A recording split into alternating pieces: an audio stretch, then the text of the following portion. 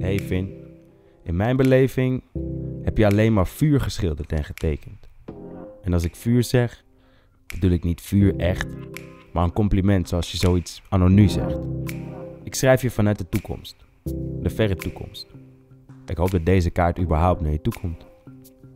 Je bent te ver je tijd voor. Neem dat maar aan van mij hoor. Misschien dat als je echt goed bent, dat er een beetje bij hoort. Laat ze maar praten. Wie lacht het laatste? Degene die oprecht iets anders maakte. Want elke kwaststreek en elk vlekje heeft een functie en is nodig op zijn plekje.